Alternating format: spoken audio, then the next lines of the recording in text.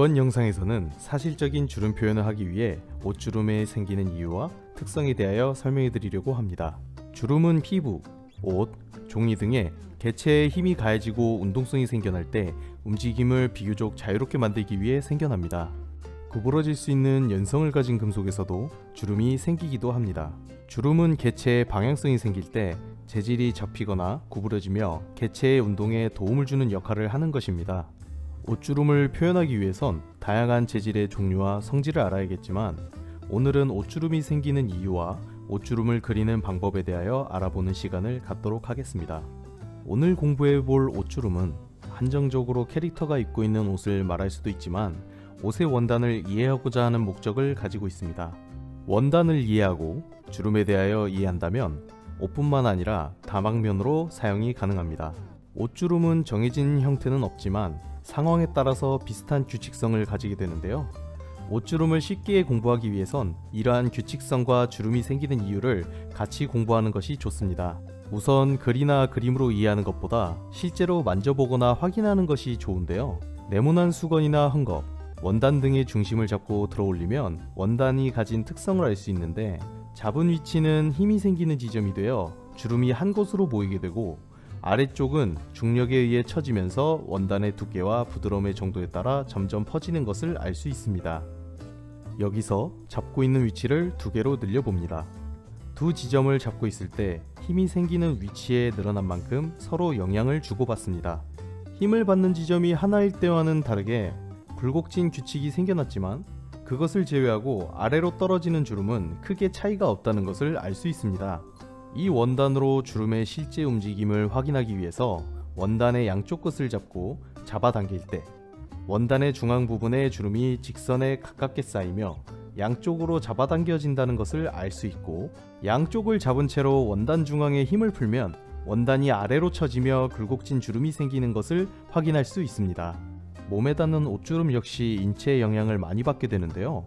원단의 재질에 따라서 옷주름의 크기나 두께는 달라지지만 옷주름이 생겨나는 형태는 비슷합니다. 인체의 크기는 사람마다 차이가 있지만 인체는 움직일 수 있는 정도가 있기 때문에 옷주름 역시 비슷한 규칙성을 가지게 되는 것입니다. 인체의 형태를 단순한 도형으로 만든다고 할 때 원기둥에 가깝다고 상정하겠습니다. 이때 옷은 마찰에 의해서 인체의 흐름이나 방향에 따라 같이 움직이는데 이 옷주름의 움직임을 봉제선이 방해하게 됩니다. 인체의 움직임이나 흐름에 의해 생기는 힘과 봉제선에 의해 생기는 힘은 네모난 원단을 양쪽으로 잡아당기는 것과 비슷하다는 것을 알 수 있습니다. 단, 사람이 옷을 입고 있을 때와의 차이점은 양쪽에서 힘이 생겨날 때 인체라는 원기둥에 의해 힘을 받는 옷주름이 모이는 것을 방해받는다는 게 다른데요. 이 때문에 옷주름은 사람의 몸을 타고 힘이 있는 지점으로 이동하면서 인체 굴곡에 영향을 받게 되는 것입니다. 따라서 옷주름을 표현할 때 인체 외곽에 옷주름이 끊겨 보이지 않도록 주의해야 합니다. 이런 식으로 옷주름이 끊긴다면 인체의 입체감을 효과적으로 보여줄 수 없게 됩니다. 옷주름은 인체를 타고 흐르기 때문에 인체 앞에서 보인 주름이 뒤에서도 이어져 보일 수 있다는 것을 생각하며 굴곡을 따라 표현해주는 게 좋죠. 옷주름의 단면을 보게 되면 주름은 마치 쌓여있는 형태라는 것을 알 수 있는데 주름은 단순히 칼집처럼 날카롭게 생기는 것이 아니라 원단이 접히고 구부러지며 생긴다는 것을 알 수 있습니다. 재질의 두께감과 인체를 타고 흐르는 주름의 방향성을 이해한다면 감상자에게 보다 설득력 있는 그림을 그릴 수 있게 될 것입니다. 앞서 말한 것과 같이 주름은 인체의 흐름을 타고 생기게 되므로 옷주름으로 운동하는 인체의 다이내믹을 부각시켜 보여줄 수도 있습니다. 옷을 입고 있는 자료를 보고 인체의 형태를 파악하기 어려워하시는 분들도 계시는데요.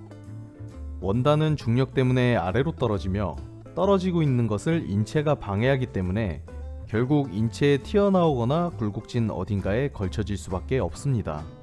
인체의 흐름에 따라 원단이 구부러지거나 접히기도 하며 때로는 봉제선에 의해서 힘을 받는 부분이 나뉘어 중력을 거슬러 올라가려고도 합니다.